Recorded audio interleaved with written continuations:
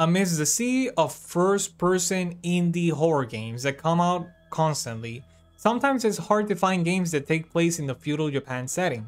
So when I heard of a first-person psychological indie horror game that was coming out that took place in that precise setting, I was excited to check it out. Hi everyone, my name is Jeremy and this is my non-spoiler review for Ikai for the PS5. Ikai follows the story of Naoko, a priestess who lives in a shrine in the mountains of Japan alongside her uncle who is a priest too. One day, Naoko leaves to do the laundry on the river and she eventually loses consciousness and awakes to find everything engulfed by darkness and evil yokai. Naoko goes back to the shrine and it is now her responsibility to stop these yokai because whoever started this has a grudge against her. The game's story is presented through dialogue, gameplay sequences that illustrate events, and through lore that you find in the collectible items that you find throughout the game. And I have to say that Ikai's story is basic, and the story presentation is lacking. The game's plot starts a little bit abruptly, and the way the story progresses feels very gamey and not intricate enough. The game features Japanese and English voice acting which is nice, the voice acting in English is decent and gets the job done. In terms of personality, Naoko comments a lot throughout the game, and yet despite of this, she lacks character development or well developed and defined personality. One of Ikai's strongest aspects is the visuals. The game goes for a realistic look and has some very nice lighting. The game takes place in feudal Japan and the developers did a good job of capturing the aesthetics of a feudal Japan shrine and setting. The game features multiple yokai and their design is underwhelming. Some of them look pretty good, but others just look weird and are far from scary. In terms of performance, all I can say is that the game ran stable.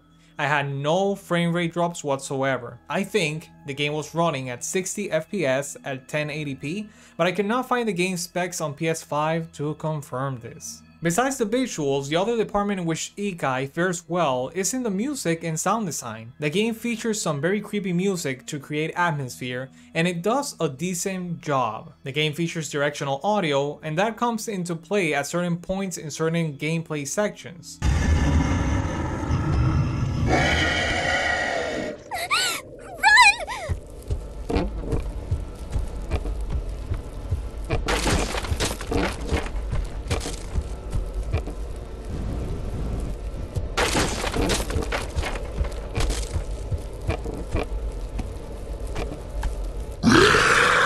So let's talk about the gameplay. Ikai is a first-person psychological horror game. The game features puzzles, stealth, chase sequences, and drawing. The puzzles are a mixed bag.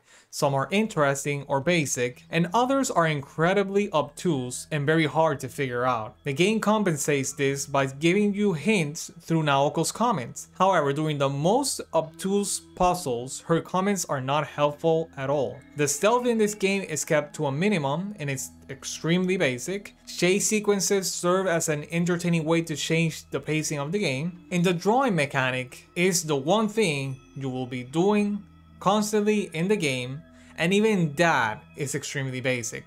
All you must do is draw the pattern on the paper. So in that sense, this mechanic is not used in a very creative way. The game also features collectibles in the form of papers that you find with drawings and information regarding the different yokai that are related to the game in some aspect, which is pretty cool. In terms of its structure, the entire game takes place in the shrine, which is not very big, the game's progression is divided by the yokais you must face. For each yokai, there is a gameplay segment that will require you to explore around the shrine and complete certain tasks to defeat that yokai. The exploration in this game is very underwhelming. The shrine is a small place and gets boring really fast and sometimes finding even certain items can be kinda confusing. Ikai is a short game, taking around 2 to 3 hours to finish depending on how fast you play. So let's talk about the cons and the pros of this game. So the first weak point of this game is the puzzles. Like I said before, some of the puzzles in Ikai are very basic and others are kind of entertaining, but quite a few of them are hard to understand. In these puzzles, you find yourself wasting time just trying to understand what the game wants from you and it can be very frustrating. The second thing that I would point out is the underwhelming story and story presentation. Ikai's story is one of its weak points. It doesn't do enough to make the story compelling and engaging. The way the story interconnects with the gameplay is another problem. Throughout the game, you are facing yokais that really have nothing to do with the core plot of the game. Only at the end do you actually deal with the yokai that is integral to the story, making the gameplay and core plot of the game disconnected in a way. And last but not least, underwhelming gameplay. Ikai's gameplay is not only too basic, it is also not engaging. The game had very lackluster exploration and stealth, and the drawing mechanic is used in such a basic way that it really doesn't add anything compelling to the gameplay, despite that being its most distinguishable feature. So regarding the pros of this game, I will have to mention two. First of all, the visuals and setting.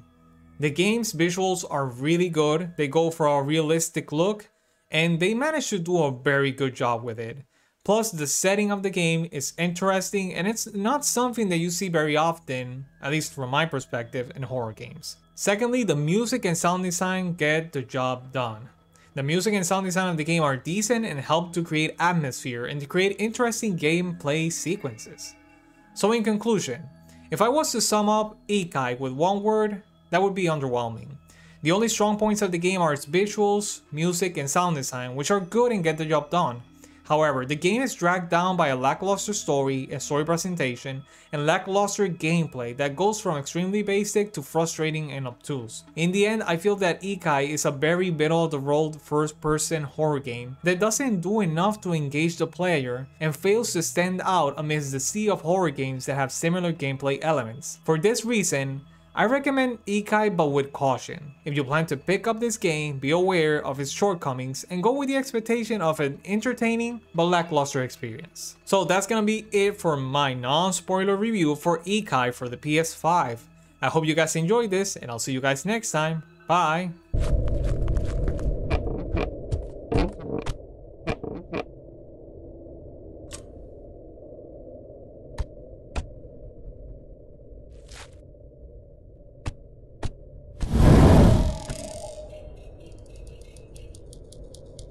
Hi everyone, if you enjoyed this video, please hit the like button and subscribe to our channel to keep up to date with our content.